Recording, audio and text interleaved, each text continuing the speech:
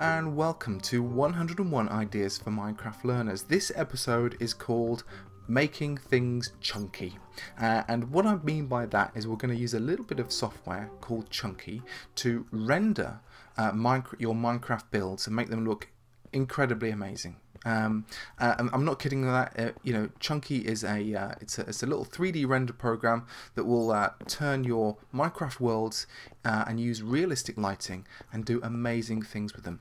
This is especially useful if you want to if you built something amazing like, like you know I built this look at this amazing house that I built up here uh, and I'm really proud of it and I want to show it off on my website or I want to make a t-shirt out of it or I want to do something where I don't want to put it in a presentation.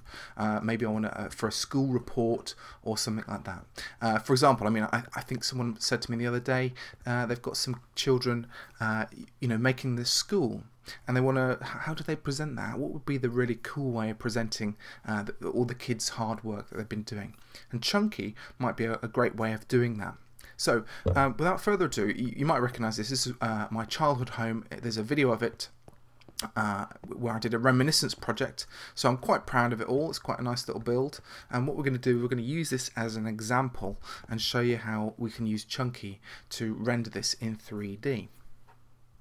So uh, what I need to do is actually save and quit. Quit the game. You don't actually need Minecraft to work. What you do need is Chunky. Chunky's got its own launcher now, which is really useful. Uh, and it means we can uh, up the memory limit depending on the power of your computer, you can actually push this higher or lower. I've got it kind of just over the halfway mark, uh, and we can show the advanced settings so we can kind of uh, see the Java, where the Java is, uh, and Java options, chunky options. I kind of leave it all down there. I close the console when chunky exits, and uh, check for update. You can always check for update. The version is latest, so you can check for update. Let's see if uh, anything's done. Oh wow, look, uh, we've got new updates. So, um, oh well, let's just update to a new version. and close that. So that's updated that. That's this is really really useful. It means that we can just you know just use the launcher, uh, and it just looks like it's a, it's written in Java, so it's very very easy. Uh, and I'll give all the website links below, so you can go and have a look at the website link and download it. Again, it's multi-platform, so it's really good. So let's launch Chunky, and we'll see what it looks like. So here's Chunky, this is what it looks like, and you can select your world by going here, and you can change your world directory, but here are all my worlds down here, and of course I've chosen my childhood home, which is there, so I'm going to load the selected world, which is up here, which is the last thing I've done, and we can move around it, and what we're going to do is you can kind of move around it, we can even open this up, we can even make this larger, or smaller, so let's make it kind of large like this. And you can see there's an actual village over here as well. So that's the build that I've, I've made over here. So let's just try selecting. What we need to do is we're seeing it from the top down, so kind of a bird's eye view. And I'm going to press left shift and then click and drag. And I click and drag and I kind of make a selection like that. Once I've made a selection, okay, this is the selection that Chunk is going to use, I can, uh, well, if you've made a mistake, you can clear selection, for example. Let's just get over, the, over here. We can also load a scene if we because we can save these scenes. Uh, but I'm going to just, again, left click, make a selection, and then right click that selection. And it says, please select a directory where Chunky should store scene description files and renders. Um, and I just store it kind of at, at the root, at my, my root uh, area, and then press OK. Okay, so keeps that background window open but also opens this little window here. Now this window is, is your canvas and its uh, default is 400 by 400 pixels. So I'm going to just make that a little bit bigger and I'm going to do, um, let's do uh, 1080 by 720 which are kind of a, a HD size and we'll just say set canvas size like this and you can see it opens it up like that and these two windows are very useful, so I'm going to keep them open. And we've got the scene name, my childhood home. We've got uh, some tabs up here. Uh, our first one is the general tab, so we can load a scene, or we can kind of create a scene, or can, you know we can do things like that. We can also save this, so we can.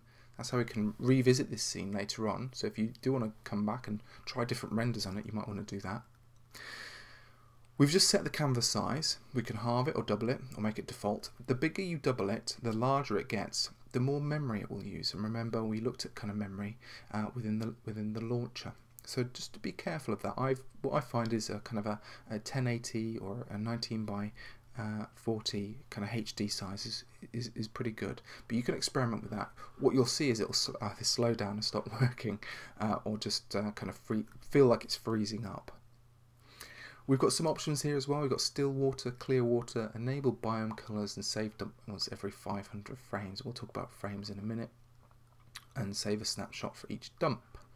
Uh, what that means is basically uh, it start when it starts to render, it renders each frame at a time, uh, and uh, as it gets better and better, uh, when you get to about 500, it, it, almost looks almost photographic. It's amazing. So let's have a look through our, over here. So I'm going to pull this window up and I'm going to right click and I'm going to move click and right click, click and drag. And we can kind of see and I'm going to use the keyboard the W S so W to move forward S to move backwards A to move kind of me sideways and D to move me sideways as well. I'm kind of moving through these blocks as well. So I can move backwards I'm moving S at the moment and then right clicking to drag my my my camera around a kind of an invisible um, on an invisible tripod and then I'm going to press W to go forward and I'm going to move my camera around. Let's try and get a kind of a uh, like that. Let's let's just do that. So you know find a good place where you think might be interesting. And uh, let's have a look at some lighting. So we've got some lighting. You can see there's some lighting over there. We can go to lighting here and the first one says emitters. Now emitters are things like torches, uh, glowstone, things like that. Uh, I generally turn my emitters down a bit because sometimes they're a bit too bright, a bit too um, almost crackly. They're, they're too uh, they almost pierce the picture a little bit with their kind of intensity. Enable sunlight. Well, we definitely want to enable sunlight, and we can have an intensity, so you can make it very bright. Oh, too bright. Lower it down, lower it down, but about where it is. The default is usually pretty good. Uh, and then we've got the sun azim azimuth and altitude. Uh, so that's like left and right, up and down. So let's push this across the sky and backwards and forwards and altitude back up, you know, sunset or sunrise, etc. etc. So that's the, the top of it. So let's put it push it down a little bit and let's roll it across the sky like, like that might be quite that might be quite cool. And uh, you know what I do, uh, as with everything, experiment, see what, uh, see what, uh, see what you think. Let's push this around so we get some interesting shadows. Uh, then we've got sky. Now you can actually load a sky map. I'm not going to show you all this in this episode. I generally, uh, you know, a sky map would be uh, clouds and background. At the moment, the default is kind of just this kind of quite cool kind of uh, blue-grey sky, which is quite nice. But you can load, uh, you know, pictures literally of clouds and different types of skies. Uh, but on the website, there's clear instructions about how to do that. Um, we've got mirror sky horizon, so that's quite good. Enable atmosphere, uh, enable volumetric fog, or enable clouds. Now clouds, there you can see the clouds coming I generally keep the clouds off. I sometimes put atmosphere in, it depends if you're doing really massive hills and things like that. Volumetric fog is great if you've got kind of an interior cave and you've got maybe sunlight casting through and you want that sunlight to be illuminated, you know, kind of by this kind of mist, if you like. So uh, to experiment with that, I, I'm going to keep atmosphere on and leave the fog for now. If we do enable clouds, we, can, we again we've got cloud height, so you can push that up or down. Uh, let's go to camera. Now this is where it gets really interesting. There's some presets up here. We've got isometric views, which are quite cool. And again, again, if you're doing presentations, you might want to think about that. For example, uh, that's that's one. Oops, I went all the way through. And you can see what isometric means. It means uh, it's not in perspective. Um, we've got skybox east. Okay, west, up and down. So do experiment with all those. Let's get myself back into position. Uh, and you've got, of course, custom presets, so you can actually set your own um, uh, camera styles. Uh, camera to player or center camera, they're fairly obvious. That's where the player was standing when I le first left that world. Um, and I can also center the camera as well. So that's that center the camera back to its origin. So let's move back through the world uh, let's go back to camera to player. So that's a nice a nice image. Projection, standard, parallel, fisheye, fisheyes like that. Well, that's pretty cool actually. then maybe we'll leave it on fisheye or panoramic. Whoa, even weirder. Or a slot, which is oh, that's quite cool. I think we'll go for just a standard for the time being. Uh, field of view. That is zoom, so we can either zoom right out or zoom right in. So we'll kind of have it a little bit out like that.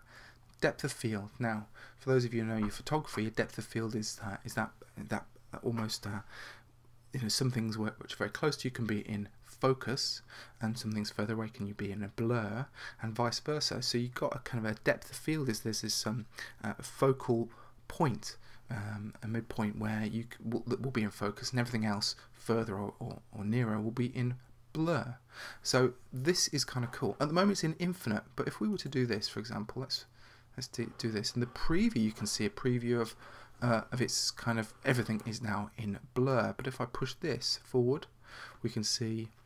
Now let's try and make so we can see that this um, brick wall is now kind of more in a focal plane. And if we push it further back, let's try and get the house in focus. Oops.